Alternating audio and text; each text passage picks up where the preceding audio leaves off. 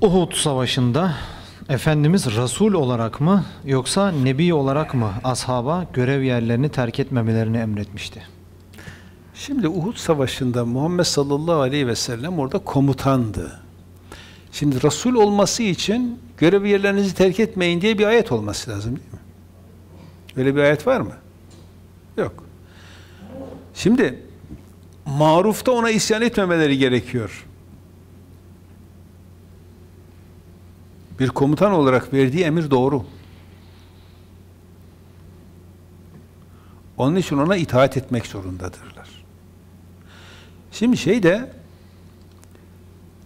Muhammed sallallahu aleyhi ve sellem Bedir'de hata etti ama Uhud'da kendisi hata etmedi. Hatayı emri dinlemeyen birkaç sahabi yaptı.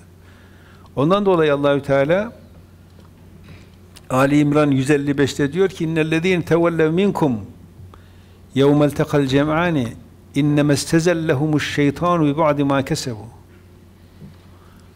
o iki topluluğun karşılaştığı gün, yani sizin orduyla Mekke ordusunun karşılaştığı gün, sırt sırtını dönüp gidenler var ya, şeytan daha önce yaptıkları bazı şeylerden dolayı onların ayağını kaydırdı diyor. Bu da sadece o gidenler suçlanıyor. Resulullah sallallahu aleyhi ve sellem değil. Verdiği emir doğru çünkü.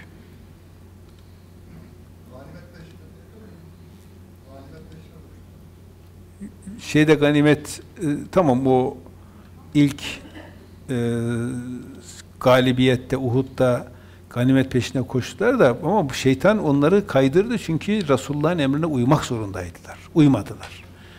Uymadılar ama zararı sadece onlar değil, tüm müminler gördü. Evet.